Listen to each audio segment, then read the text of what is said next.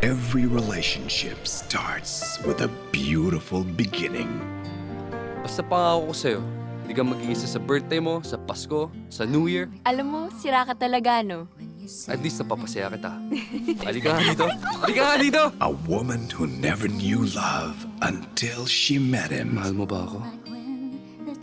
Kasi mahal kita. Sobra-sobra kitang mahal. And a man who found love when she believed in him. Ayoko na dun sa trabaho ko. Temporary lang talaga yun eh. Kaya Agnes, kailangan kita. You complete me. O sige, ako na lang yung cheerleader mo. Go, Pawi! Go, go! Ayos! Sige, sige. Ikaw cheerleader ko. Alam mo, napakasaya ko dahil andyan ka. But when his dreams became more than she could take, Yes! Mayaman na ako! Okay naman tayo, di ba? Medyo busy nga lang. Wala namang iba importante sa'yo kundi ang pera mo eh. Ang iniisip mo lang yung sarili mo. Napaka-selfish mo. she wanted love more than he could give. Si Agnes, she kept asking for more. Ilang beses mo na ba tinex? Hindi ko alam. Mga 10 times?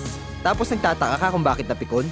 When a relationship is bound to end, Ayaw niya na po sa akin. Ang sakit-sakit. will you fight for it and stay? Galit ka pa ba sa akin? Huwag ka nang magalit sa akin, please. Or will you choose to walk away? Ikaw na naman ang martir. Kasalanan ko na naman to. Dinadala-dala mo ako sa mga social mong kaibigan tapos Agnes, hindi lang tayong dalawang tao sa mundo! This October, Star Cinema proudly brings Kim Chu and Gerald Anderson. You'll never look at them the same way again. Nakasakit ako ng babae.